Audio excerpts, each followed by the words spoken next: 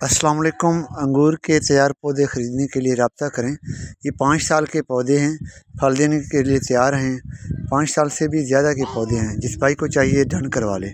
शुक्रिया।